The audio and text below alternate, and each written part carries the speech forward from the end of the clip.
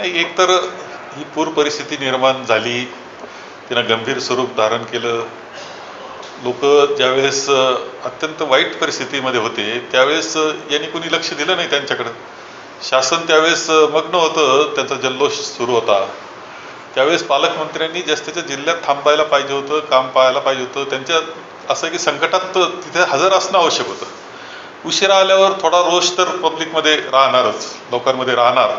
आता तो सहन केला पाहिजे. आता रागवून चिडून उपयोग नाही.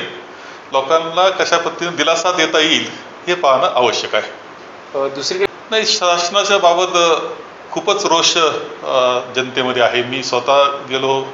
मी तर तीन चार दिवस त्या विषयामध्येच सातत्यानं राहिलेलो आहे.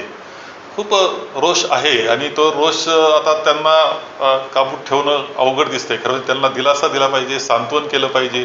उलट जमावबंदी करणं अशा पद्धतीचे नियम करणं आणि त्यांना रोखणं हे माझ्या मते आणखी त्रासदायक होऊ शकतं. आणखी रोषाला सामोरं या शासनाला जावं लागेल अशी प्रकारची परिस्थिती आहे.